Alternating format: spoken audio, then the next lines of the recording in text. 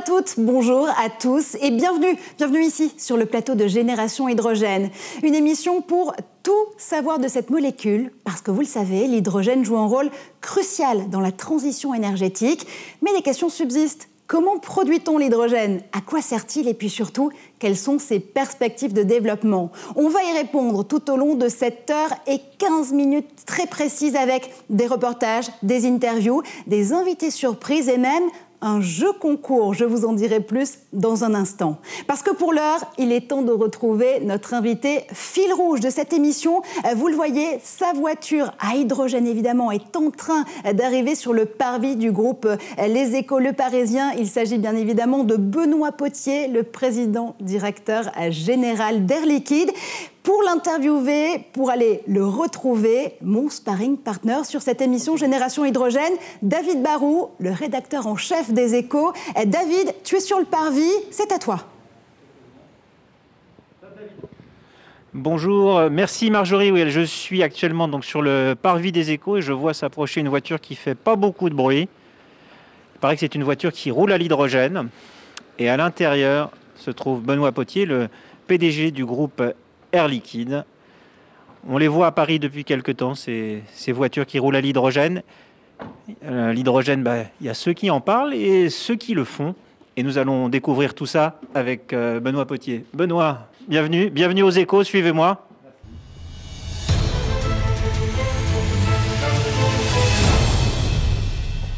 Monsieur Potier, vous descendez d'une voiture à l'hydrogène. La question que j'ai envie de vous poser, c'est euh, comment ça marche ce truc-là? Bah, ça marche déjà, c'est une bonne chose. C'est-à-dire mmh. qu'effectivement, ça roule. C'est une voiture électrique, c'est-à-dire que, comme toutes les voitures à batterie, euh, c'est l'électricité qui propulse les, roues, mais l'électricité est produite à bord. On a un stockage d'hydrogène qui est amené dans une pile à combustible, c'est comme ça que ça s'appelle, qui génère l'électricité. À partir de là, bah, le moteur tourne avec de l'électricité. Sur la voiture, il y a écrit Hype, c'est une nouvelle marque de voiture hein? Hype, c'est en fait une marque. C'est ce qu'on a créé euh, au moment de la COP 21 en 2015 avec un entrepreneur qui est venu nous voir, qui nous a dit est-ce qu'on peut s'associer pour créer une société de taxi électrique parisien. Et il avait essayé les batteries, mais les batteries ne fonctionnaient pas bien. Euh, le mode économique ne mhm. fonctionnait pas. Donc il est venu nous voir pour nous demander est-ce qu'on peut faire ça à l'hydrogène? Et puis nous sommes partis ensemble, cinq taxis. Et puis progressivement, ben voilà, aujourd'hui on en a 140 dans Paris et on en attend 600 pour l'année prochaine.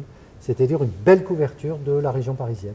On a toujours l'impression que l'hydrogène, c'est pour dans longtemps. Ce que vous nous dites, c'est qu'en fait, l'hydrogène, ça fait déjà un peu partie de notre quotidien. Et absolument. Moi, je suis venu en hydrogène tous les matins. Je vais au bureau avec une voiture à hydrogène, et ce, depuis 3-4 ans. Donc, effectivement, ça marche. Ce n'est pas encore accessible à tout le monde, mais on a déjà prouvé que c'était possible. Alors l'hydrogène, on en parle de plus en plus, ça intéresse de plus en plus de, gens. Il y a encore beaucoup de questions, beaucoup de solutions à apporter, beaucoup de défis à relever, et c'est de tout ça dont nous allons parler maintenant. Vous allez nous rejoindre sur le plateau pour euh, la première édition de Génération Hydrogène.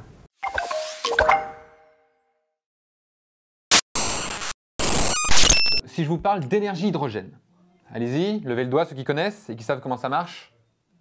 Personne? Voilà. L'hydrogène, comme l'oxygène, le fer ou le cuivre, est un des 92 éléments naturels connus à ce jour qui composent l'univers. Alors, tout paraît beau, mais il y a quand même un petit souci. Il n'est jamais présent à l'état pur, c'est-à-dire qu'il est toujours lié à d'autres atomes. Par contre, on est d'accord avec vous, le nom fait un peu peur. On dirait un peu le nom d'une arme de méchant dans un film de super-héros. C'est l'utilisation la plus connue de l'hydrogène. Un carburant pour des voitures qui ne rejettent que de l'eau. D'ici 15 ans, on volera peut-être dans des avions complètement propres qui n'émettent aucun CO2, des avions à hydrogène. le train à hydrogène, ce que je vous annonce aujourd'hui, c'est qu'on va s'y engager à fond parce que ça, c'est une vraie solution. On ne pourra pas tout décarboner seulement avec l'électricité. Et c'est pour ça qu'aujourd'hui, on dit souvent que l'hydrogène, c'était un peu la pièce manquante de la transition énergétique. Avant de tous carburer à l'hydrogène, il va falloir le rendre vert, effectivement. En fait, le problème, c'est que l'hydrogène, aujourd'hui, il faut le produire. Et quand on le produit, à 95%, on utilise pour ça des énergies fossiles. Et donc, on dégage énormément de CO2. Demain, une nouvelle technique quasi miracle doit permettre de fabriquer de l'hydrogène 100% écologique. Eh ça me donne une idée. Dans l'eau, il y a de l'hydrogène. Eh bien, on doit pouvoir obtenir de l'hydrogène en faisant l'électrolyse de l'eau. Voilà, vive l'hydrogène, notre sauveur. C'est donc l'objectif des 7 milliards d'euros qu'on a mis dans le plan de relance. hein. Il faut décupler l'électrolyse et puis il faut largement diviser les coûts. Moi, j'avais arraché, si je me souviens bien, euh, difficilement 100 millions 100 d'euros, ce qui n'était pas suffisant. Bon, là, je vois qu'il y a 2 milliards. et Très sincèrement, je salue cela. Sur l'hydrogène, la France n'est pas en retard par rapport à d'autres pays européens, mais l'objectif est de passer à la vitesse supérieure. Dans le monde, la course est déjà lancée. En Chine, le gouvernement coupe les aides aux voitures électriques et passe à l'hydrogène. La Commission européenne a présenté ce mercredi sa stratégie. Elle propose de produire d'ici 2024 près d'un million de tonnes d'hydrogène renouvelable. Doucement, mais sûrement, l'hydrogène est en train de passer de simples niches de recherche à une alternative crédible.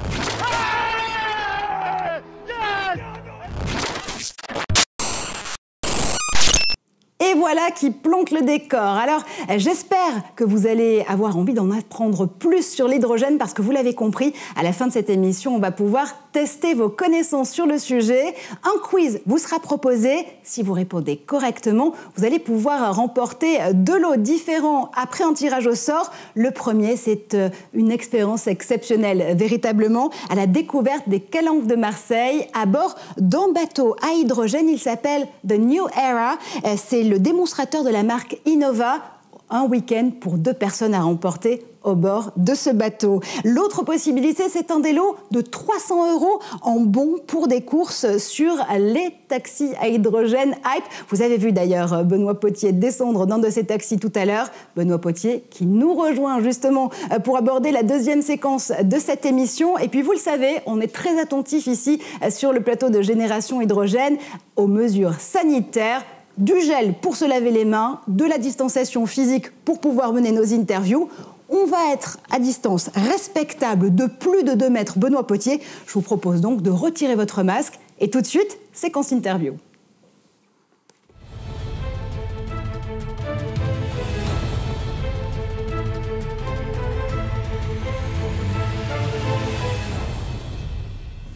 Bonjour Benoît Potier. Bonjour. Alors l'hydrogène, tout le monde en parle, hein, véritablement, on l'a vu tout à l'heure, les médias, les institutions, euh, le grand public. Pourquoi un tel engouement aujourd'hui en 2020 Bah, Parce que je crois que le sujet est un sujet d'intérêt général, euh, que la conscience que chaque citoyen dans le monde a du sujet climatique et des solutions bah, nous amène assez naturellement à l'hydrogène et c'est un produit que Air Liquide a euh, produit, vendu et développé depuis maintenant près de 40 ans.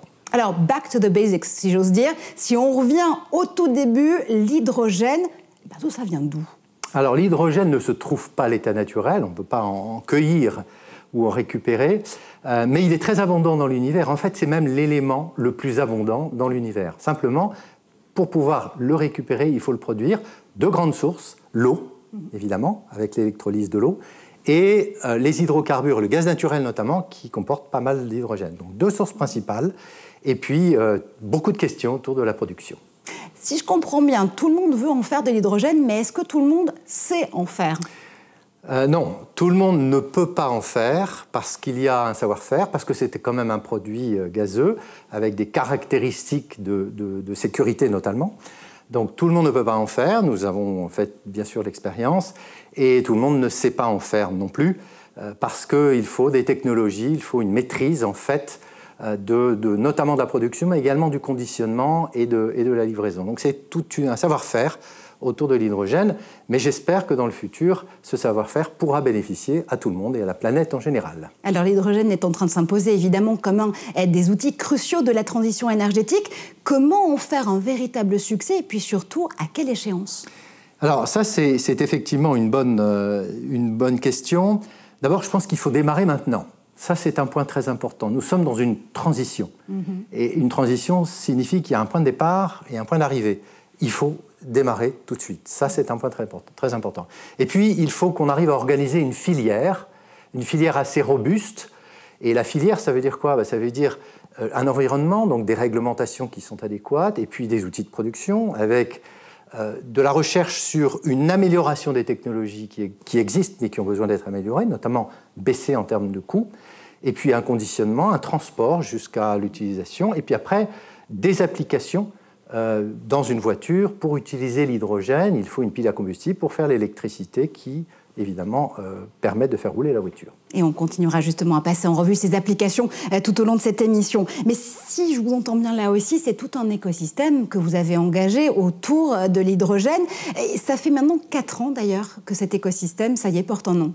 Oui, alors il y a deux choses à dire. Il y a, ce qui s'est passé au niveau mondial, et là nous avons, nous, créé un Conseil mondial de l'hydrogène avec 13 sociétés euh, en 2017, dans les froids euh, des montagnes suisses à Davos.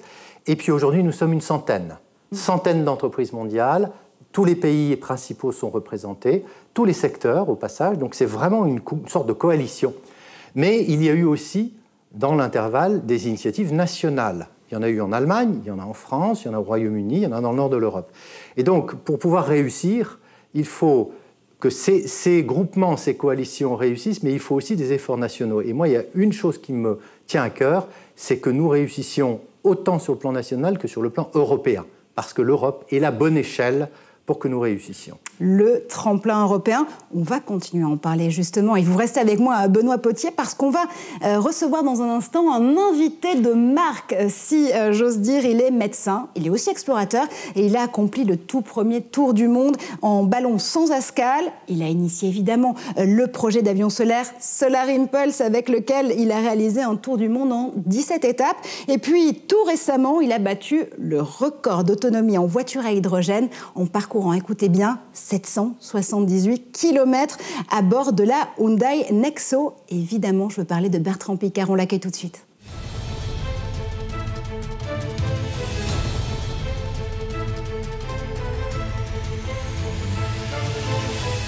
Et retour en plateau avec nos invités. Bonsoir Bertrand Picard.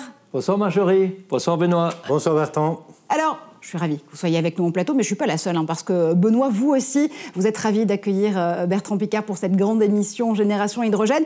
Sans lever de secret d'alcool, je crois que votre relation remonte à il y a déjà quelques années. Oui, absolument. C'est une relation de longue date. En fait, avec euh, Solar Impulse, je crois que c'est une relation qui euh, doit remonter à 2013. 2007. 7. 7. Tout au début, qu'on concevait le Life Support System, voilà. qui permettait aux pilotes de respirer à haute altitude. Donc ça, c'est un, une des collaborations. La, la collaboration plus structurée, c'est 2013 et qui a été renouvelée en 2017. Puis j'ai un autre souvenir, une anecdote avec Bertrand, c'est qu'en fait, Bertrand était présent dans notre film des 100 ans en 2002.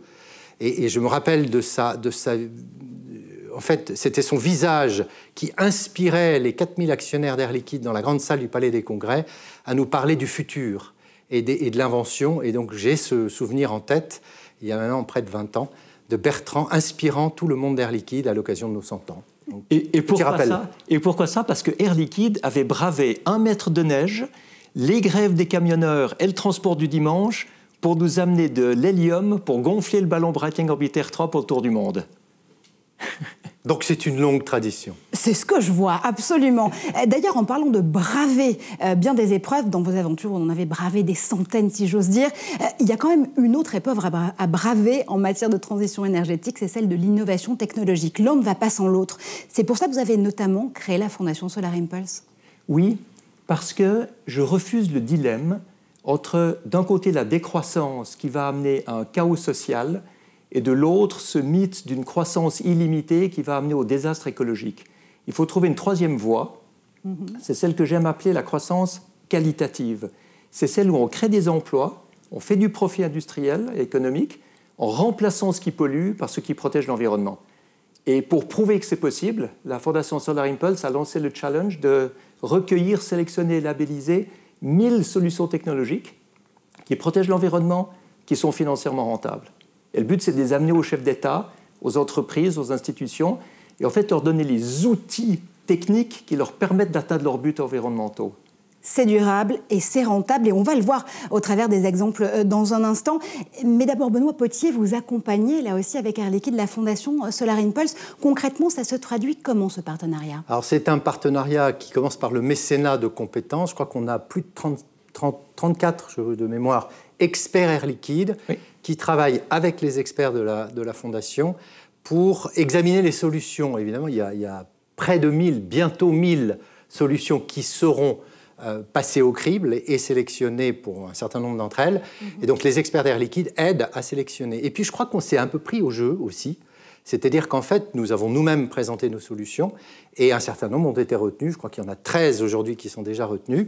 Et puis évidemment, nous avons aussi un partenariat financier euh, dans, le cadre de ce, travail en commun avec la, la Fondation Solar Impulse. Bertrand, c'est une win-win situation, si j'ose dire? Il n'y a aucun partenariat qui n'est pas win-win. On en parlait tout à l'heure d'ailleurs avec, avec Benoît Potier. L'hydrogène aujourd'hui, c'est un écosystème en soi. Est-ce que c'est une évidence, Bertrand Picard? Là où c'est évident, c'est que l'hydrogène se fait des amis là où la batterie se fait des ennemis. Parce qu'aujourd'hui, on peut intégrer le monde pétrolier dans la distribution et la vente de l'hydrogène, ce qu'on ne peut pas faire avec les batteries. On peut être autonome sur le plan énergétique.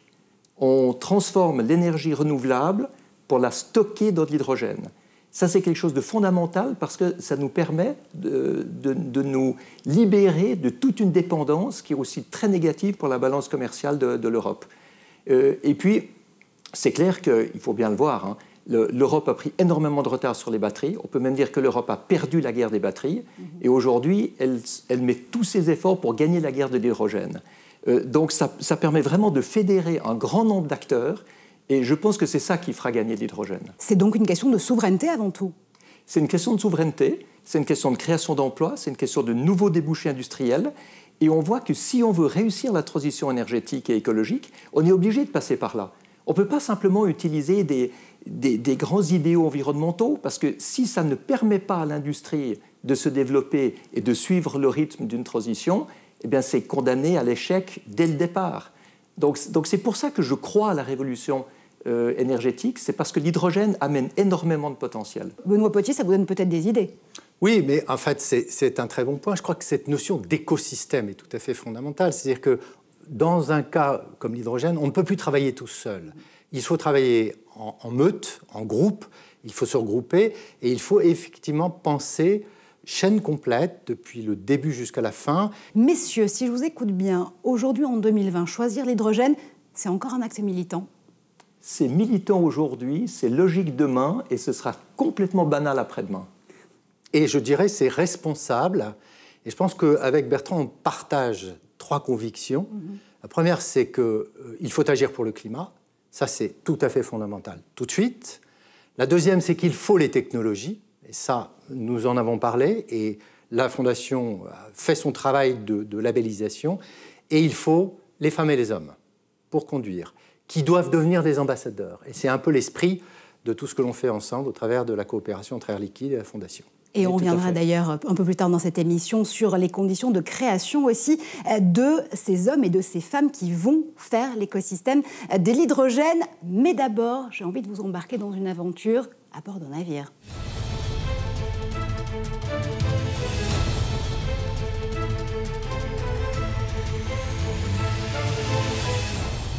En bateau tour à tour, laboratoire et plaidoyer pour la transition énergétique. Il s'agit d'énergie Observer. Depuis 2017, il fait le tour du monde, euh, propulsé grâce aux énergies renouvelables et à l'hydrogène.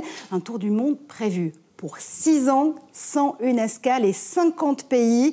On va rejoindre tout de suite à bord de ce navire son skipper notamment, Victorien ability, and the materials to pursue the exploration of the universe. Ignition sequence starts. Four, three, two, one, zero. All engine running.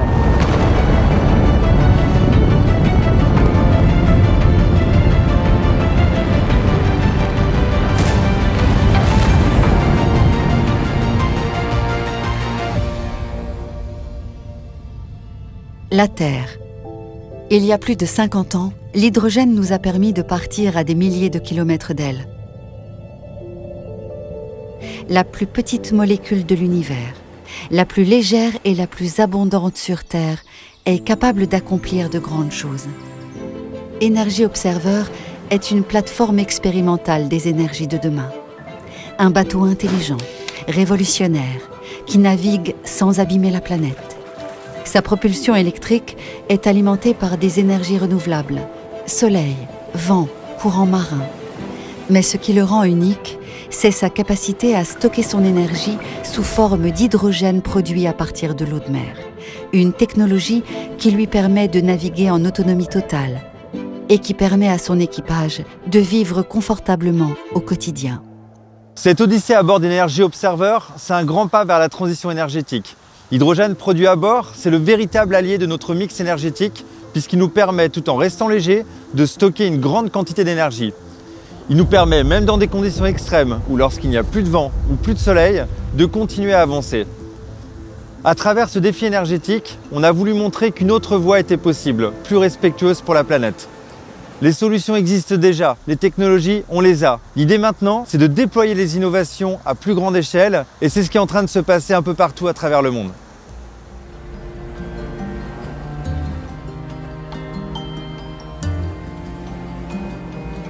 En naviguant sur Energy Observer, on se rend tout de suite compte de son impact positif sur son environnement. C'est zéro bruit, zéro émission, zéro polluant. Et ça, c'est vraiment important pour la préservation des écosystèmes marins. Avec ce bateau, c'est vraiment comme si on se fondait dans le décor. On va véritablement diminuer l'impact qu'on a sur la faune sous-marine.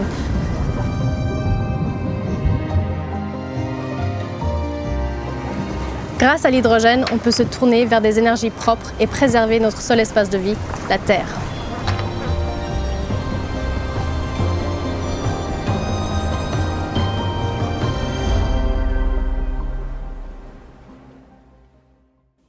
Energy Observer qui continue sa course autour du monde et ce laboratoire sur mer, vous le connaissez bien tous les deux, Benoît et Bertrand, puisque euh, notamment Air Liquide est partenaire depuis le début. Absolument. Et ce qui est absolument fantastique, je trouve, dans ce bateau, c'est qu'on a l'autonomie totale. C'est-à-dire qu'on n'est pas juste en train de prendre un peu de soleil, un peu de vent quand il y en a et après on s'arrête. C'est qu'en fait, tout a été conçu depuis le départ pour pouvoir naviguer autour du monde sans aucun apport d'énergie. Alors, on réalise peu ce que ça veut dire, mais il faut prendre l'eau de mer, lui retirer son sel, séparer l'eau avec un électrolyseur, faire de l'hydrogène, le stocker, utiliser le maximum de vent et de soleil quand il y en a, et quand il n'y en a plus, eh bien, on récupère cet hydrogène et on alimente en fait les moteurs électriques pour pouvoir faire naviguer le bateau. C'est-à-dire que c'est vraiment la solution d'avenir. C'est la preuve que c'est possible une preuve sur les flots. Euh, Bertrand Picard, là aussi, vous connaissez bien l'équipe. On vous a vu d'ailleurs dans les images euh, aux côtés de Victorien Russard notamment. Je crois que vous lui avez confié une boussole d'ailleurs et une mission. La boussole du cockpit de Solar Impulse, de notre tour du monde en avion solaire, qu'il a sur son tableau de bord pour lui montrer la bonne direction. Et Victorien et son équipe euh, vont aussi trouver des solutions euh, un peu partout au fil de leurs escales pour les amener à la Fondation Solar Impulse et qu'on puisse les labelliser. Donc on a une, une amitié de longue date et ce but commun. Messieurs, vous restez avec moi parce que des personnalités emblématiques qui embrassent l'hydrogène, il y en a encore d'autres. Et notamment un aventurier, lui aussi hors du commun. Cet aventurier, c'est Philippe Croison et on le rejoint tout de suite. Bonjour Philippe. Bonjour, bonjour à tous. Alors vous vous êtes lancé un pari fou, c'est celui de faire Paris-Dakar en 2022 en voiture à hydrogène. Mais pourquoi, j'ai envie de dire? Pourquoi pas? Et moi j'ai envie de dire, euh, de toutes les aventures que j'ai menées, à chaque fois, 99% des gens me disaient mais c'est pas possible, tu peux pas traverser la Manche à la nage, tu peux pas relier les cinq continents, tu peux pas être pilote sur le Dakar en 2017. Et pourtant avec une équipe, des ingénieurs autour de moi, on a montré aux 99% de pessimistes que c'était réalisable. Et donc aujourd'hui, euh, j'ai vraiment envie d'y retourner en hydrogène. On m'a proposé hein, plein de fois d'y retourner avec euh, des voitures thermiques. J'ai toujours refusé, puisque vraiment l'avenir demain, c'est l'hydrogène. Et d'aller sur le rallye raid, dans une des épreuves les plus dures du monde, avec un véhicule hydrogène, c'est montrer aussi au grand public, les rassurer, leur faire du bien, de dire ça, c'est l'énergie de demain. Ça, c'est le véhicule que vous allez acheter demain et que vous allez utiliser. Moi, je l'utilise aujourd'hui en 2022 sur, sur l'épreuve la plus dure du monde. Mais demain, c'est votre véhicule à vous qui va être, euh, qui va être mis en place. Et ce qui, me plaît aussi, c'est que ça fait quand même déjà pas mal de temps, depuis 2018, je réfléchis à, ce véhicule hydrogène. Et j'ai eu la chance de rencontrer euh, quelques personnes comme euh, Patrick euh, Meillot, qui est président fondateur d'Inicio, pardon, excusez-moi, j'ai un peu d'émotion en même temps en, vous parlant. Voilà, il m'a apporté son expertise, ses aides et ainsi de suite. Et aujourd'hui, on, on, est pratiquement prêt à y aller. Et donc, euh, voilà, il suffit de, construire le véhicule, d'avoir encore d'autres aides, d'autres partenaires qui, qui, vont suivre dans cette aventure pour montrer encore une fois que tout est jouable. Enfin, vous l'avez très bien dit tout le long de l'émission. Aujourd'hui, on a besoin de messages forts, de messages vraiment qui ont un impact puissant pour dire aux gens voilà notre avenir, voilà l'hydrogène. Voilà, aujourd'hui, les gens, on voit bien, ils cherchent. Ils cherchent entre la batterie, l'hydrogène, euh, l'environnement, qu'est-ce qui se passe, où est-ce qu'on va? Et là, on va leur apporter des réponses, comme le fait très très bien euh, Bertrand Picard avec euh, tous ses projets. Et pourquoi pas, Bertrand, bienvenue dans l'aventure. Alors volontiers, moi ça me tenterait énormément. J'adore piloter une voiture à hydrogène. J'avais fait le record du monde avec la Hyundai Nexo, mais c'est beaucoup plus doux, ça accélère mieux, il n'y a pas de vibration, il n'y a pas de bruit. Enfin, tu, tu sais ça aussi bien que moi. Et ce qu'il faut, c'est que tous les utilisateurs le comprennent aussi. Exactement. Et surtout, c'est puissant, c'est fiable. Voilà, c'est aller sur le Dakar, c'est montrer que c'est des véhicules qui sont fiables, que la technologie elle existe aujourd'hui et qu'on peut le faire. Et c'est aussi de montrer aussi au pouvoir public, hein, de dire voilà, regardez, on peut y arriver. Donc euh, tous ensemble, on peut avoir une, je dirais, une société euh, meilleure. C'est ce que tout le monde rêve. Et donc, euh, je pense que l'hydrogène, et vous l'avez très bien expliqué pendant toute l'émission, c'est notre futur, c'est notre avenir. Donc, donc ceux qui nous entendent, ceux qui ont envie de rentrer avec moi dans cette aventure, ils sont les bienvenus, bien sûr. La preuve par l'exemple. J'ai envie de dire, il y a quand même un petit appel du pied, fait Benoît Potier, là tout de suite. Certainement. Je pense que je l'ai entendu. Ce que je voudrais saluer, c'est cet exploit à venir, parce que de l'hydrogène sur le Dakar, c'est quand même pas très facile. Il faut, il faut oser. Je voudrais saluer ce courage. Je pense qu'il est, est assez remarquable. Et puis, euh, quelque part, le côté un peu émotionnel, c'est. Je voudrais saluer aussi le sourire de, de Philippe Croison, parce que chaque fois que je l'ai vu, c'était avec un large sourire. Et, c'est important, parce que je pense que c'est aussi un message de, de, positivisme, d'espoir pour, euh, pour l'avenir. Et là, on est vraiment dans une aventure euh, au, premier plan de la technologie. Et effectivement, nous allons voir comment on peut euh, collaborer. Vous savez, ce que j'aime à dire très souvent, c'est que l'impossible, c'est juste nous. C'est personne d'autre. C'est quoi nos rêves? C'est quoi nos envies? C'est quoi nos objectifs? Donc euh, c'est à nous de prendre notre destin en main et d'y aller. Quoi. Donc euh, voilà le message fort aussi que j'ai envie de délivrer et que je délivre déjà depuis quelques années. Ah, ce qui est formidable, ce qui est formidable, c'est que on n'est pas en manque d'idées pour des aventures parce qu'on peut refaire tout ce qui a été fait autrefois en polluant mais de manière totalement propre et totalement efficiente. Donc, on appelle tous les aventuriers et tous les explorateurs du monde à nous rejoindre. et j'allais dire à Hydrogène Vaillant, rien d'impossible. Merci, merci pour ce sourire, pour cet optimisme. Le sourire, avec l'idée avec laquelle il faut oser. Merci Philippe Croison, merci Bertrand Picard d'avoir été avec nous. Euh, Benoît Potier, évidemment, vous restez pour la suite de Génération Hydrogène. Dans un instant, vous allez en savoir plus sur le marché de l'hydrogène, sur les emplois euh, que euh, l'hydrogène peut générer. Je vous rappelle que si vous êtes attentif à cette émission, vous allez pouvoir jouer avec nous en toute fin de streaming des lots précieux à gagner. À tout de suite.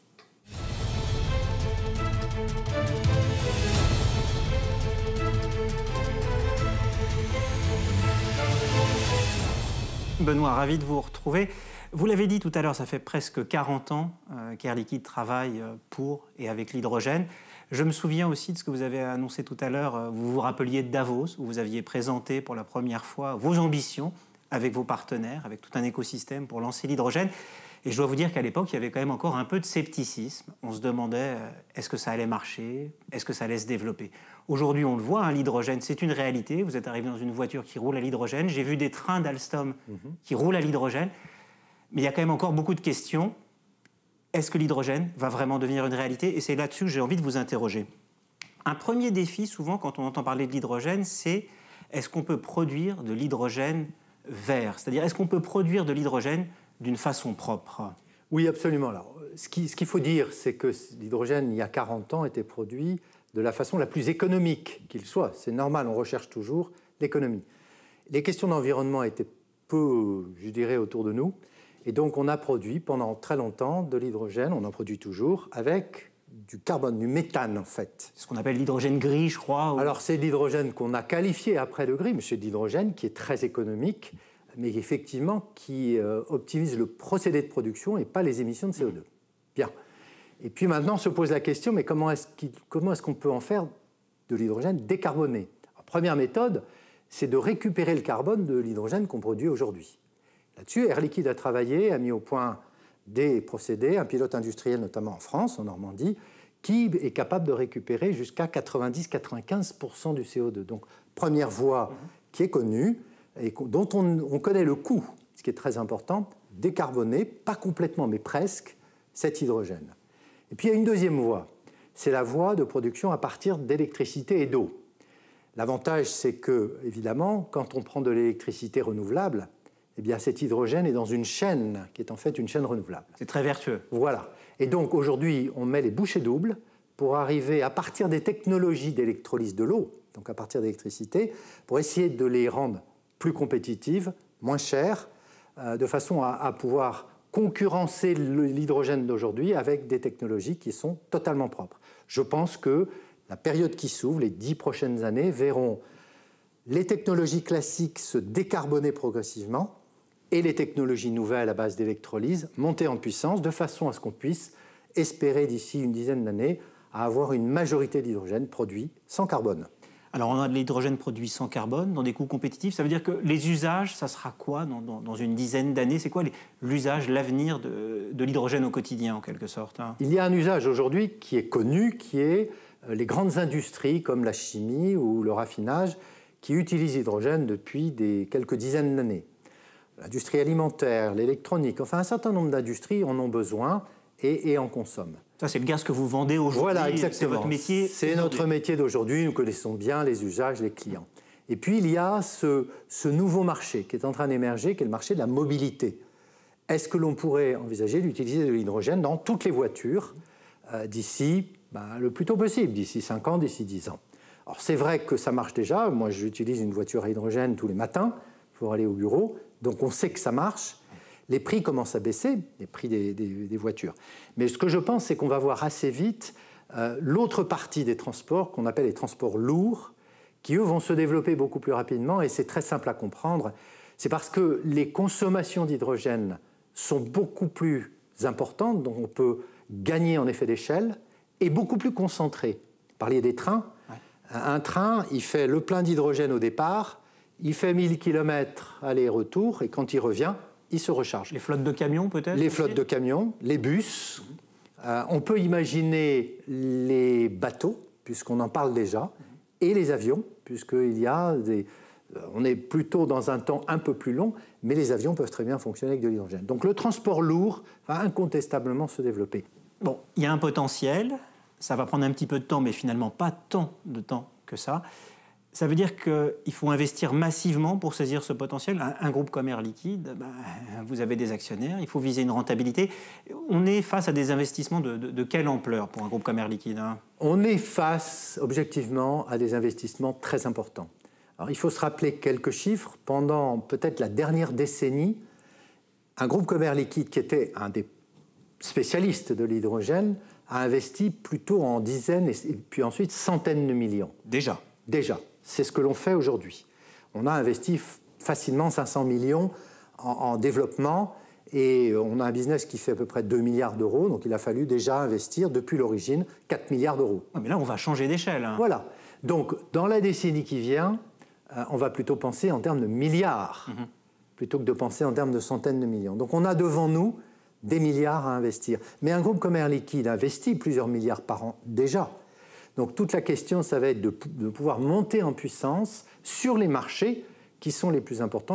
Alors, il y a des études qui disent à l'horizon 2050, alors c'est relativement loin, euh, les études valent ce qu'elles valent, mais 2500 milliards, un marché gigantesque potentiellement. Euh, comment est-ce que vous, voyez évoluer ce marché? Où seront, selon vous, les, les principales opportunités? Et sur quel segment Air Liquide va pouvoir se positionner et se différencier? Parce que si le gâteau est, magnifique et aussi gros, je pense que vous ne serez pas les seuls. Hein. Certainement, on aura beaucoup d'acteurs qui seront intéressés. Mais revenons, si vous voulez bien, aux études. En fait, ces études, on les a faites euh, avec les membres du Conseil de l'hydrogène et un consultant, McKinsey, euh, qui nous a permis en fait de récupérer un petit peu toutes les données de tous les secteurs qui sont concernés par l'hydrogène, de les passiver, c'est-à-dire les rendre neutres et ensuite de travailler sur chaque marché et à l'intérieur de chaque grand marché les segments qui pourraient être assez facilement et économiquement converti à l'hydrogène. Donc c'est une étude précise. Oui, c'est-à-dire que si l'hydrogène se retrouve dans plein de marchés, finalement, un petit morceau qui bascule, au total, ça va faire beaucoup. Quoi, oui, je, je vais prendre un exemple dans la mobilité. Ce que l'on fait déjà, c'est que tous les chariots élévateurs, vous savez, ces petits chariots qui sont dans les entrepôts, aujourd'hui, il est plus rentable et intéressant pour un grand entrepôt de se doter de chariots à l'hydrogène que d'avoir des chariots à batterie. C'est prouvé, le cas économique existe. Donc on a vu le nombre de sites euh, croître dans des proportions extrêmement importantes. Donc ça, c'est un exemple de ce qui existe déjà. Les trains, euh, Alstom a récemment vendu des trains en Allemagne et ces trains ont été testés, des trains régionaux, en fait, fonctionnent maintenant à l'hydrogène. pourquoi c'est important? Ben, Il faut se rappeler qu'en Europe, nous avons à peu près 50% des lignes de chemin de fer, notamment les lignes régionales, qui ne sont pas électrifiées. donc c'est du diesel aujourd'hui. Donc c'est du diesel. Donc si on remplace ce diesel par de l'hydrogène, sachant que ça marche, mhm. on a un cas économique aujourd'hui qui fonctionne. Euh, on a un développement dans ce, dans ce segment-là qui est très important. Alors voilà comment on a fait. On peut le faire dans des conditions économiques aujourd'hui Oui, on peut le faire dans des conditions économiques parce qu'on économise l'électrification en fait. oui, on ne paye pas d'infrastructure finalement. Exactement. On économise tous les coûts d'infrastructure et en fait on a besoin uniquement d'une infrastructure de stockage et de distribution d'hydrogène au dépôt, là où le train en fait s'arrête pendant la nuit. Le, monde que vous décrivez, c'était au départ, il y a quelques années, un monde un peu de science-fiction. On se disait, ça va marcher peut-être, mais ça va prendre du temps. Le pari que vous faites aujourd'hui, c'est que l'hydrogène va être dans notre quotidien et changer notre vie de tous les jours. À partir de quand et, sur quels usages, finalement, le, de manière la plus objective ou la plus manifeste? Alors, euh, ce que je voudrais dire, c'est que quand on réfléchit un tout petit peu à l'histoire c'est vrai que nous avons vécu une phase de doute. Pendant dix ans, nous avons, nous, essayé de promouvoir l'hydrogène, expliquer, dire mais ça va venir. C'était, le doute. Aujourd'hui, vous n'êtes pas tout seul. Hein. Aujourd'hui, on n'est plus tout seul. Aujourd'hui, c'est un peu l'euphorie. C'est-à-dire que tout le monde en parle, on se dit mais c'est fantastique. Alors, si on, si on revient à la phase, euh, je dirais, post-euphorie, euh, mm. qu'est-ce qu'on va voir? On va voir que l'hydrogène va prendre sa place et va prendre sa place comme un vecteur d'énergie très complémentaire finalement des batteries et de tous les autres systèmes qui vont garder en fait des spécificités. Donc l'hydrogène en fait prendra sa place comme un vecteur d'énergie, mais l'hydrogène a une caractéristique que n'ont pas toutes les formes, les autres formes d'énergie propre, c'est une capacité à être stockée. Oui, on le dit, l'électricité, c'est à part dans les barrages. L'électricité a des mal à être stockée en grande quantité. Les barrages, effectivement, mais une batterie, on sait bien qu'une batterie stocke pendant un temps euh, limité. Et que si on n'utilise pas une batterie, l'énergie est perdue. Oui, et puis on, développe beaucoup aujourd'hui les énergies renouvelables et on le sait bien qu'elles sont euh, alter, enfin, qu'elles intermittentes. C'est-à-dire qu'elles viennent quand, il y a du soleil et du vent et on n'arrive pas à les stocker. Et c'est ça un très bonne complémentarité. Exactement. La magie c'est qu'en fait, on peut en concevoir un système dans lequel, quand de l'énergie renouvelable est disponible, on la stocke. Alors, on la stocke comment? Eh bien, on la stocke en fait dans des réservoirs souterrains. Il y a dans le monde des cavernes de sel qui existent et qui servent déjà à stocker du, gaz naturel. Donc c'est un procédé L'hydrogène qu'on va produire... On le mettra dans ces cavernes. Et on ira le chercher. et on pourra le garder un an, une saison, euh, plusieurs années. Nous, nous avons, nous, Air Liquide, l'expérience aux États-Unis d'une caverne qui fonctionne, qui est reliée à un pipeline d'hydrogène et qui nous sert effectivement de tampon euh, pour, pour accumuler de l'hydrogène en, tant que réservoir et à le remettre sur le pipeline quand les clients en ont besoin. Eh ben, euh, la preuve que vous n'êtes plus tout seul, c'est que quand on parle d'hydrogène aujourd'hui, bah, ça suscite un intérêt gigantesque. On a posé des questions, on a ouvert un forum pour voir s'il y avait des questions, est-ce qu'il y avait des internautes ou des gens qui avaient envie de vous poser des questions? On a eu plus de 500 personnes qui ont posé des questions on les a rassemblés, réunis, et on a décidé bah, de vous poser en audio et en vidéo les questions qui sont celles qui sont revenues le plus souvent, les questions les plus récurrentes. Et donc, euh, bah, je ne suis pas le seul ce soir à vous poser des questions, la parole aussi aux internautes. A tout de suite.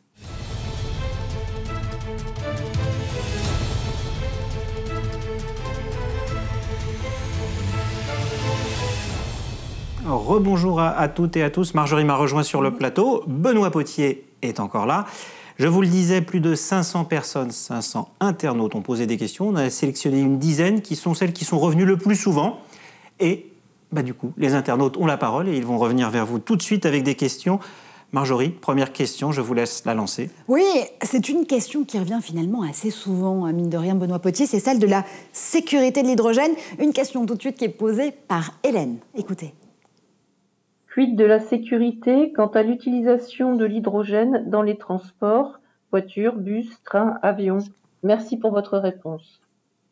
Alors effectivement, c'est une très bonne question et c'est une des premières questions en fait qui s'est posée à propos de l'hydrogène parce qu'on a on a ces vieux souvenirs en tête de se dire oui mais c'est peut-être dangereux, voilà.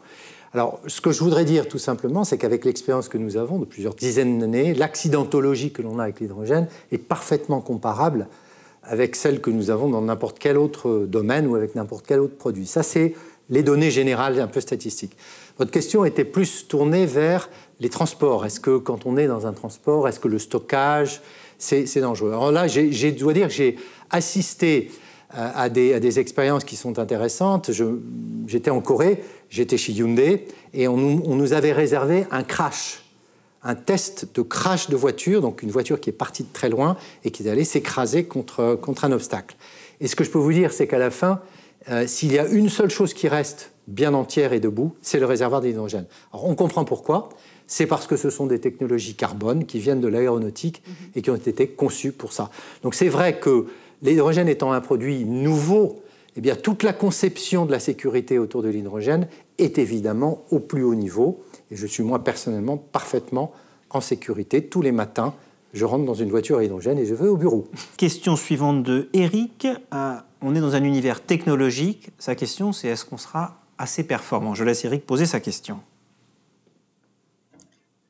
Disposons-nous ou disposerons-nous de technologies suffisamment performantes concernant les électrolyseurs ou resterons-nous tributaires de la technologie chinoise Merci. Alors là aussi, c'est une très bonne question, assez, assez pertinente et, qui euh, finalement adresse le point de la technologie pour l'électrolyse, donc l'utilisation d'électricité pour produire de l'hydrogène.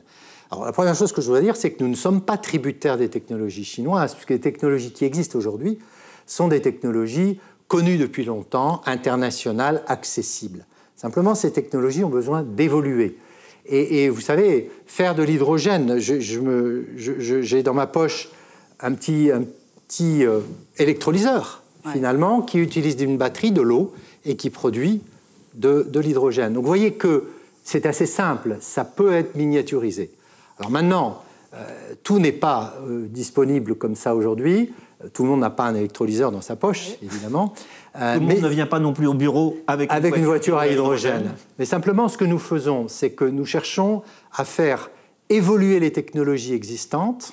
Et sans rentrer dans les détails, il y a encore des choses à faire pour améliorer l'efficacité de production d'hydrogène avec l'électrolyse dite alcalin, qui est la technologie d'aujourd'hui, il y a une autre technologie qui est plus prometteuse encore, qui est une technologie à base de membranes échangeuses de protons. Et cette technologie est celle que nous utilisons, nous, et que nous développons actuellement pour pouvoir euh, développer les grands projets, les, grands projets de, de, 50 ou de 100 mégawatts. Et c'est cette technologie qui n'est ni chinoise, ni française, ni allemande, ni américaine, qui est à prendre aujourd'hui. Et c'est pour ça qu'il faut que l'Europe, l'Allemagne, la France, les grands pays d'Europe se dotent de cette technologie. Donc vous voyez que le champ est ouvert, euh, il n'y a pas de monopole aujourd'hui, mais par contre il y a besoin de se concentrer, de faire des efforts à l'échelle européenne et de mettre encore un peu d'argent dans la recherche pour être certain que les membranes dont je parlais soient les meilleures du monde. Et c'est ça que nous essayons de faire. En fait, la bataille ne fait que commencer. Question suivante qui nous vient de, euh, Armand autour de la biomasse. Biomasse est le mot-clé. La parole est à Armand. Bonjour Monsieur Potier, euh, Armand de l'Aubrière. J'ai lu dans une revue professionnelle sur euh, l'industrie du bois qu'il y avait de la production d'hydrogène à base de biomasse. Est-ce que Air Liquide s'intéresse à ce mode de transformation et de production? Merci. Oui, merci pour votre question. Effectivement, on peut aussi produire de l'hydrogène avec des matières premières de type végétal, euh, du bois, des végétaux, euh, un peu toutes sortes de, de matières. Euh, pour ça, il faut utiliser ce qu'on appelle la biomasse. Pour ça, il faut en fait gazéifier cette biomasse et en général, les procédés, sont des procédés à haute température. Donc il faut apporter de l'énergie et ensuite on a effectivement de, l'hydrogène. On n'a pas que de l'hydrogène, on a aussi du CO, du CO2. Et donc il faut à ce moment-là convertir tout le, CO en CO2 et récupérer ce CO2. Donc on est dans un système producteur de CO2, mhm.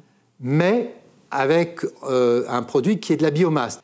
La question suivante est dans la continuité. Enfin, Véronique veut savoir comment euh, le parc nucléaire pourrait jouer un rôle ou pas euh, dans le marché de l'hydrogène. La parole à Véronique.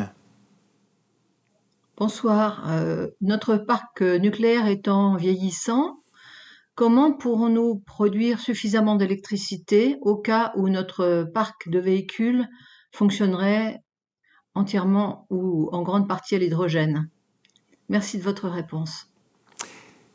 Oui, c'est également une question intéressante, puisque finalement, on commence à, réfléchir, euh, mais comment tout ça peut marcher, comment ce système peut marcher? Mais sinon, simplement, Madame, ce qu'il faut faire, c'est réinvestir dans des capacités de production d'électricité renouvelables. Donc faire plus d'éoliennes, on peut penser plus les éoliennes en mer, parce que là, il y a beaucoup de vent, on a un rendement qui est meilleur. Il faut ensuite ramener cette électricité sur Terre. Ça, c'est une bonne piste. Et évidemment, le solaire, là où il y a du soleil, là où c'est euh, intéressant. Et donc, fondamentalement, vous avez raison. Un des défis que nous avons, c'est un investissement massif dans les énergies renouvelables et peut-être une meilleure utilisation de notre outil nucléaire, puisque nous l'avons. Eh bien, Bodo Potier, vous lisez littéralement dans la pensée de gens qui vous posent la prochaine question et qui, évidemment, est liée à l'éolien. Bonjour, j'habite à proximité de la commune de La Verna où quatre éoliennes produisent de l'électricité chaque fois qu'il y a du vent. Mais je serais bien plus heureux et conscient de leur importance si elle pouvait produire de l'hydrogène que je mettrais ensuite euh, dans un réservoir pour ma voiture. Pensez-vous que ce soit une, chimère ou est-ce une vraie perspective? Non, mais monsieur, vous ne rêvez pas du tout. Et je peux vous le dire parce que euh, je l'ai vu faire au Japon. Au Japon, en fait, ils ont fait beaucoup de tests sur l'hydrogène et effectivement, ils ont connecté le système complet avec euh, des éoliennes ou des panneaux solaires de la production d'hydrogène, du stockage de cet hydrogène, de l'utilisation de cet hydrogène dans un véhicule, ce même véhicule étant en fait garé devant la maison, reconnecté avec un câble électrique à la maison et alimentant la maison euh, pendant la nuit en, électricité en même temps que le réseau. Donc en fait, ce mini écosystème-là est en fait parfaitement réalisable. Et je pense qu'il ne faudra pas cinq ans avant que vous ayez autour de chez vous des gens qui s'intéressent à connecter ces éoliennes avec une petite production d'électricité, d'hydrogène, un stockage et peut-être vous mettre une station-service près de chez vous. En tout cas, c'est ça que nous avons en tête. Donc, c'est faisable et c'est une bonne nouvelle. Autre question de Guillaume qui, lui, cette fois-ci, s'intéresse à l'hydrogène maritime. J'espère que Guillaume a bien regardé la séquence avec Energy Observer qui précédait. Bonjour, monsieur Potier. On parle beaucoup des voitures à hydrogène, des avions à hydrogène, mais aussi des trains. Cependant, on entend peu parler des bateaux à hydrogène. Quel est l'avenir de l'hydrogène dans le maritime? Les ports français sont-ils équipés? Que faire liquide pour cela? Merci. Alors c'est intéressant parce qu'on a, a vu l'exemple d'énergie Observer, mais on n'a pas beaucoup parlé de, bateaux. Alors je dois dire que les, en fait, le, maritime et les bateaux sont arrivés un petit peu après les autres, mais assez fortement. C'est-à-dire qu'aujourd'hui on voit un très grand intérêt de la part de l'ensemble du maritime et du fluvial sur l'hydrogène en fait, les, bateaux, c'est aussi un marché, on parlait de marché tout à l'heure, mhm. c'est aussi un marché idéal. Parce qu'en fait, par définition, un bateau, il a un point de départ et un port d'attache. Et il est obligé d'aller d'un point A à un point B et de se recharger en énergie, mhm. du fuel, de l'électricité et peut-être demain de l'hydrogène. Donc on a un cas d'école en matière économique, puisque si on arrivait à concentrer de la production pour des ports, et à livrer en fait de l'hydrogène pour les bateaux, on aurait l'économie d'échelle qui est nécessaire pour rendre l'hydrogène rentable.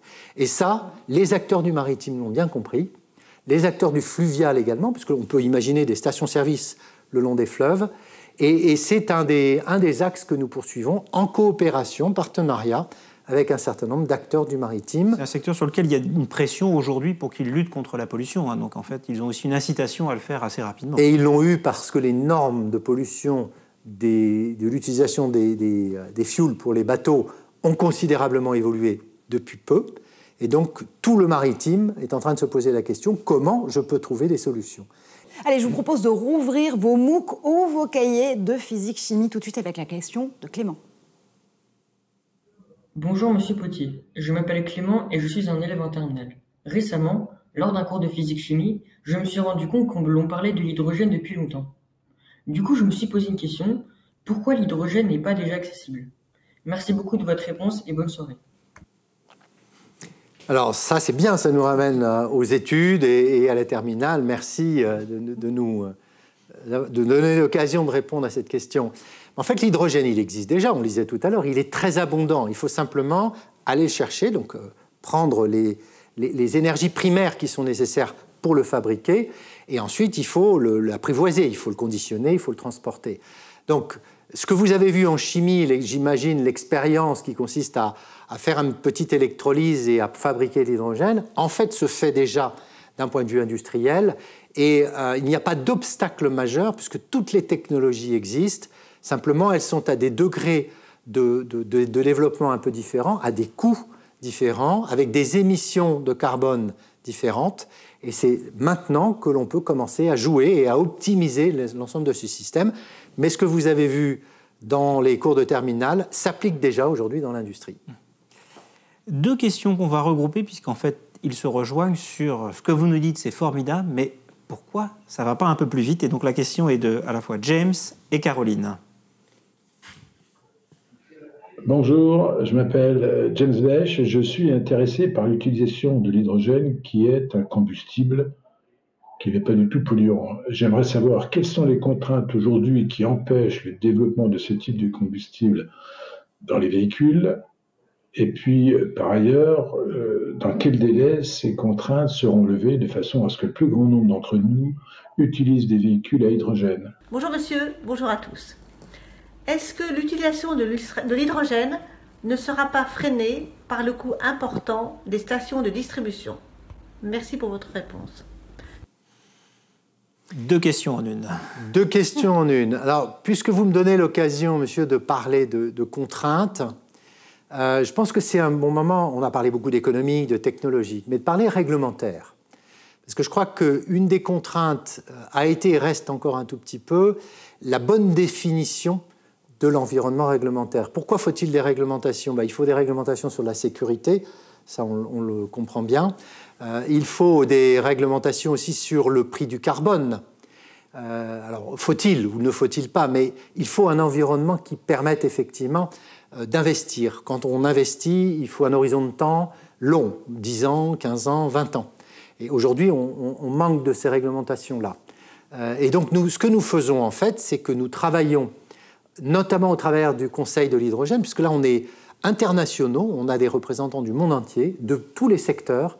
Nous travaillons, en fait, avec les gouvernements, avec la Commission européenne en Europe, pour essayer de définir quelles devraient être euh, les, les meilleures réglementations pour promouvoir en fait le développement de, de l'hydrogène. Alors, dans la question de Caroline, il y avait une question plus précise sur est-ce que le coût, et est-ce qu'en particulier le fait qu'on n'ait pas d'infrastructure de distribution. Aujourd'hui, on a des stations-service qui vendent de, de l'essence partout, mais construire un réseau pour distribuer euh, de l'hydrogène, ça risque de coûter très très cher. Et est-ce que ça, c'est pas un frein majeur? Ça pourrait l'être, objectivement, parce qu'il faut qu'on se rappelle que le monde a mis un siècle à développer l'ensemble de l'infrastructure euh, pétrole, puisqu'au départ il n'y avait que quelques voitures, et puis progressivement bah, tout s'est développé. Donc on a mis un siècle d'investissement dans les stations-service existantes. On ne peut pas remplacer un siècle d'investissement comme ça par un, coup de baguette magique.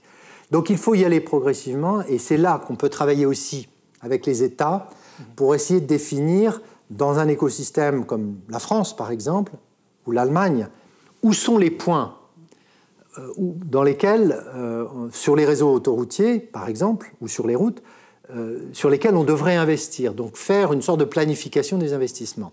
Mais je voudrais quand même revenir sur une chose, c'est qu'une station-service hydrogène, ça ne coûte pas si cher que ça, à condition que l'on ait suffisamment de voitures. Il y a ce problème de la poule et de l'œuf que l'on a essayé de résoudre dans le Conseil de l'hydrogène, à se dire on ne va pas tourner en rond entre nous en disant bah, c'est vous qui devez faire les voitures, bah non, faites-moi les stations et je ferai les voitures. Donc on a essayé de coopérer, on l'a fait avec euh, des acteurs japonais, des acteurs allemands, avec des acteurs français comme Alstom dans le, train, pour essayer justement de co-investir ensemble pour entamer ce, pour amorcer la pompe et faire en sorte qu'on arrive à développer. Mais une station-service, il lui faut à peu près 300 voitures qui lui seraient attachées pour être à peu près chargées. Donc vous voyez que ça n'est pas, un, ça pas un, nombre, un chiffre très très important. Et nous avons fait tous les calculs. Simplement aujourd'hui, il peut y en avoir 10 ou 20, puisqu'il n'y en a pas beaucoup.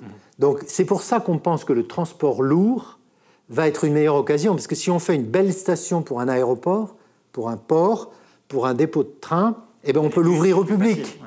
Et voilà, et comme ça, on peut imaginer des, des, cercles concentriques qui sont choisis et qui permettraient aux particuliers de venir se euh, charger en hydrogène. Ah, une révolution qui se joue donc en simultané. Exactement, tout à fait. Prochaine question, elle nous vient de cette jeune génération hydrogène justement, et Théo, qui est étudiant à l'INSA Lyon.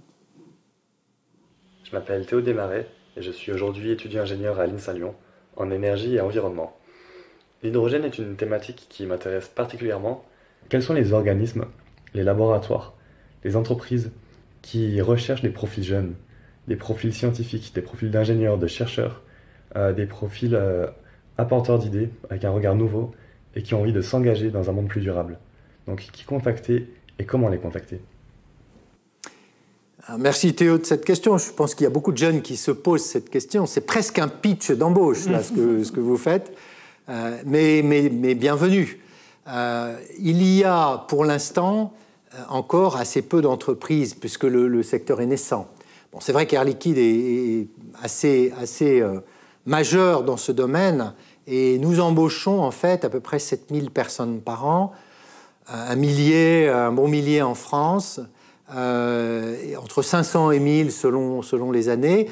Et je suis prêt à prendre le pari que dans ces 1000 embauches en France, il y en aura de plus en plus qui seront dans l'hydrogène. Donc je crois qu'il faut se tourner vers des entreprises comme Air Liquide, euh, des laboratoires, il y a le CEA qui travaille beaucoup sur ces sujets, euh, il y a, d'autres entreprises qui sont dans le monde de l'énergie, euh, bien sûr, euh, qui, vont s'y développer. Il y a aussi des startups, parce que je pense que le monde de l'entrepreneuriat est très friand de ces nouvelles technologies. On en a vu éclore, il y en aura d'autres. Donc je crois qu'il faut essayer de, balayer très large et d'aller chercher un petit peu partout. Mais c'est vrai que nous, nous avons euh, la volonté d'accueillir beaucoup de jeunes. Euh, on le fait et on continuera à le faire. Donc si vous étiez à l'air liquide, ben, vous seriez bienvenue. Dernière question de, de, cette séquence, elle nous vient de Isabelle.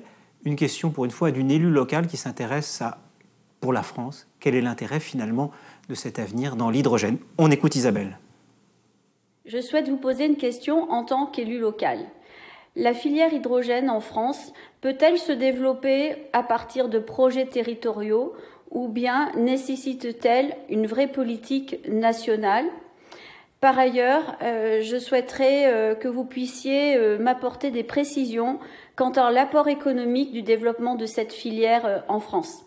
Je vous remercie de ces éléments de réponse. Merci Madame. Et effectivement, c'est un, en fait, un aspect qu'on n'a pas encore abordé. Donc c'est intéressant de, se poser un peu cette question. En fait, vous avez cité deux niveaux. Vous avez cité le niveau territorial, le niveau national. Moi, j'en rajouterai un troisième, qui est l'Europe. Et je l'ai dit tout à l'heure parce que je pense qu'il y a des choses à faire un petit peu à tous les niveaux. Au niveau territorial, il est certain qu'il y a beaucoup de projets qui vont avoir un sens, à condition qu'on arrive à créer des mini-écosystèmes. On en parlait tout à l'heure. Il faut qu'on arrive à faire cohabiter un ensemble, c'est-à-dire une production d'énergie renouvelable territoriale, et puis euh, une production d'hydrogène, un stockage et une distribution. Ça dans un rayon qui est un, un rayon euh, donné, géographique, mais avec échelon local, absolument, mais avec des usages qui doivent être des usages multiples. Imaginons que dans une région ou un département euh, français, on ait cette capacité à mettre un petit peu d'éolien, un petit peu de solaire, faire de l'énergie renouvelable, produire de l'hydrogène, le stocker, puis après, qu'est-ce qu'on peut en faire ben, On met quelques stations-service, Puis on se dit, mais les bus de la région peuvent, eux, être alimentés. Très bien. Le train régional, bah, ils peuvent faire un plein. Et, et, comme ça, il faut développer un écosystème. Ça, c'est l'échelle régionale.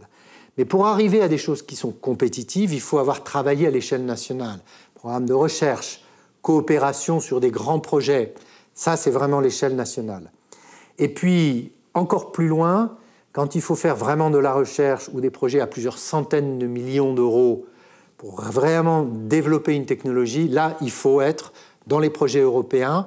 Il faut regrouper un groupe allemand, un groupe français, un groupe espagnol, les mettre ensemble, construire une usine à plusieurs centaines de millions et développer réellement, de faire une avancée en fait dans les projets. Là, c'est l'échelle européenne.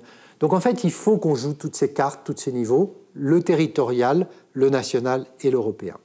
Merci pour toutes ces, premières réponses, Benoît, mais vous n'êtes pas encore totalement sorti d'affaire puisque Marjorie est partie à la rencontre de cette jeune génération, cette génération hydrogène, qui a encore quelques questions pour vous. Marjorie, on part sur le terrain. Oui, on en parle tout de suite.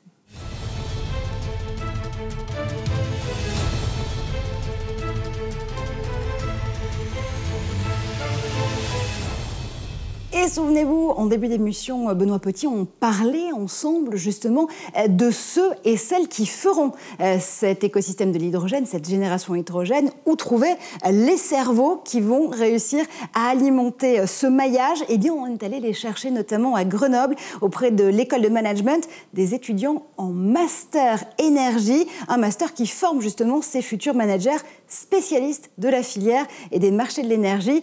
Ils ont énormément de questions à vous poser. On regarde tout de suite la réflexion.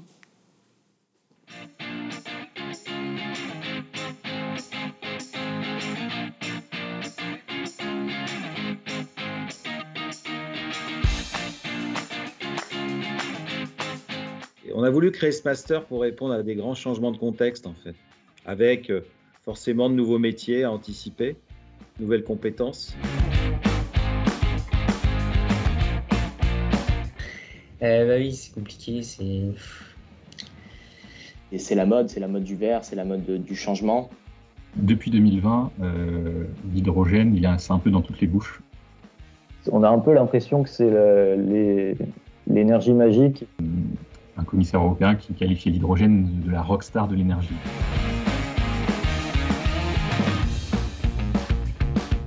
Si je devais qualifier l'hydrogène en un mot, ce serait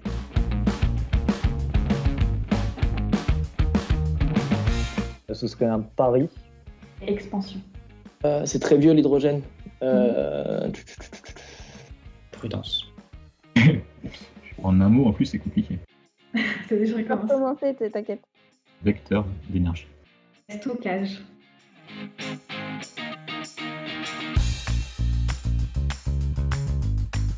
Le mix énergétique du futur, c'est un mix qui est, euh, qui est équilibré. C'est un mix qui, qui est décarboné on aura une génération hydrogène, mais euh, ce ne sera pas une génération 100% hydrogène.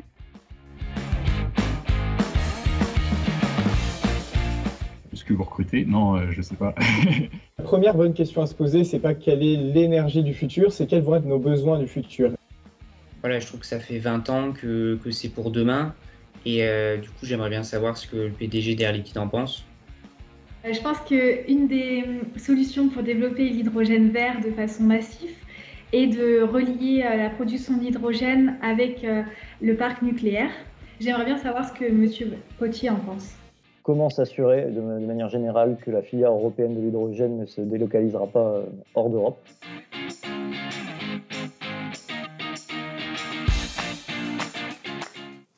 Alors qu'Alan se rassure, on va demander évidemment au PDG d'Air Liquide ce qu'il en pense. Mais d'abord, Benoît, je, voudrais savoir comment vous, vous pourriez définir cette génération hydrogène. Vous attendez quoi d'elle? Euh, Du dynamisme, de la, je pense, une vision, mhm.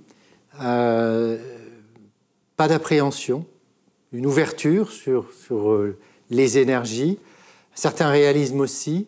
Il faut, nous, nous sommes des ingénieurs pour, beaucoup, en tout cas dans, ce monde de l'hydrogène, pas seulement, mais beaucoup. Donc il faut, il faut construire sérieusement. J'attends du sérieux. Euh, c'est vrai qu'aujourd'hui on en parle beaucoup, on est très dans, l'euphorie, Mais je pense qu'on va passer cette phase. Il va falloir être réaliste. Il va falloir bâtir. Donc j'attends des jeunes qu'ils soient aussi réalistes. Enthousiastes, évidemment, parce que c'est magnifique, c'est superbe. On a vraiment devant nous quelque chose. Donc j'en attends beaucoup. En parlant de réalisme, voilà la question qu'Alain vous posait. L'hydrogène, ça fait 20 ans que c'est pour demain. Vous en pensez quoi? C'est vrai. Je l'ai entendu beaucoup. Ils sont cash, hein, c'est la génération. Ils sont cash. Mais vous savez, moi, ça fait 20 ans que je m'en occupe, donc je suis dedans depuis 20 ans. Je suis pas, c'est pas que j'en entends parler, mais c'est long. Convaincre le monde que quelque chose va exister. Au départ, on est à contre-courant tout le temps. J'ai prêché et j'ai trouvé le doute autour de moi. Euh, et je suis content de voir qu'aujourd'hui, l'ensemble du monde, tout ce qui s'est passé, la prise de conscience, la, volonté d'avoir en fait une action pour le climat, tout ça, tout ça a convergé. Un peu de Covid aussi. Mm-hmm. Là, on est dans l'actualité. Un moment de bascule. Oui. on est à un moment de bascule, de réflexion. On réfléchit, euh, se dire mais qu'est-ce que j'ai envie de faire de mon futur, de ma vie? Et tout ça converge et effectivement, ça débouche sur l'hydrogène, en particulier dans le monde de la transition énergétique, parce que c'est une belle solution, parce qu'elle existe et donc, ça ne me fait pas peur, ces 20 ans. moi, j'ai passé une partie de, ma carrière professionnelle à traverser ce, désert. Je suis ravi qu'aujourd'hui, ce soit en train de prospérer. Naviguer l'incertitude en 2020. Une question de Justine, à laquelle on a déjà un peu répondu d'ailleurs tout à l'heure. Faut-il relier la production d'hydrogène avec le parc nucléaire? En tout cas, on va, se retrouver face à un, un vrai dilemme qui est qu'on a envie de développer les énergies renouvelables, mais on n'a pas accès aux énergies renouvelables parce qu'il n'y en a pas assez. Donc autant utiliser à ce moment-là des énergies disponibles bas carbone pendant le temps où c'est nécessaire. Et on en a beaucoup parlé, cet échelon européen, oui, mais Loïs pose cette question, comment s'assurer que la filière européenne de l'hydrogène ne se délocalisera pas hors d'Europe? Alors moi, je n'ai pas cette crainte-là, parce qu'elle n'existe pas encore, donc on va déjà la localiser en Europe. Tout le, monde, tout le monde fait à peu près la même chose. Les grands pays industriels, Japon, Corée, Chine, en Asie, tous les pays d'Europe, le Canada, je pense bientôt les États-Unis, tous les grands pays et d'autres, tous les grands pays industriels sont en train de s'y mettre. Donc on n'est pas dans une dynamique ou une réflexion de délocalisation. On est dans une dynamique de bâtisseur. Il faut en fait bâtir tout ça. Il faut les technologies, il faut les projets, il faut se regrouper, d'où l'échelle européenne, entre acteurs pour bâtir en fait le leader mondial de l'hydrogène. Moi, je souhaiterais que ce soit l'Europe. Il va y avoir beaucoup d'un appel d'air en fait en Europe. De ce fait, l'Europe a le lead sur le, côté vert de, disons de l'industrie. Hein. Le, Green Deal européen est au cœur de ce, sujet, de cette problématique. Donc ça, ça crée un appel d'air. On a le marché, on a la demande en Europe.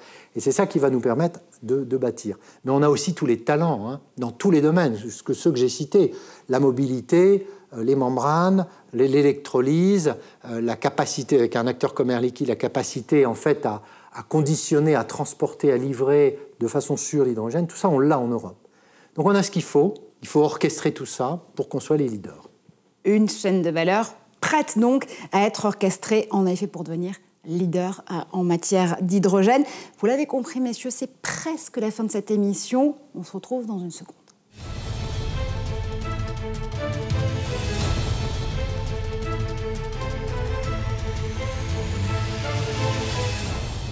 Presque la fin, disais-je. Oui, mais euh, David, ça fait euh, plus d'une heure qu'on est ensemble, qu'on décrypte ensemble cette génération, cet écosystème de l'hydrogène. Qu'est-ce que tu garderas en mémoire, toi, de ce qu'on vient de se dire? Moi, ce que j'ai envie d'être optimiste. Je trouve qu'on est dans un monde dans lequel beaucoup de gens doutent. On, veut toujours voir ce qui va pas bien. Ce qu'on a vu là, c'est un peu comme dans le cas du Covid.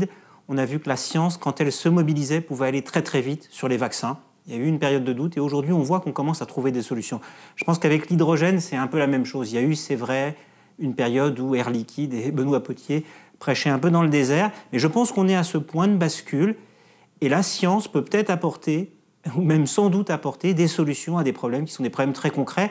Et comme le disait M. Picard aussi tout à l'heure, moi je ne suis pas pour un monde sans croissance. Je crois qu'il faut de la croissance, mais il faut une croissance plus vertueuse.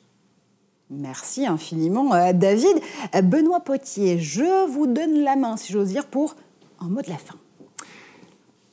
J'ai envie, d'utiliser les, quelques lettres qui nous servent de support dans le Conseil mondial de l'hydrogène, parce que je pense que c'est un peu notre, feuille de route. Et vous savez qu'on a une feuille de route à 2050. En fait, on s'est fixé un horizon 2050 et un point de passage vers 2030, 2035. Qu'est-ce qu'on a en tête? Technologie. Il faut qu'on les développe. Ça, c'est une certitude. Les réglementations, on en a beaucoup parlé. Sans un système de réglementation adéquat, nous ne pourrons pas avancer. Il faut investir.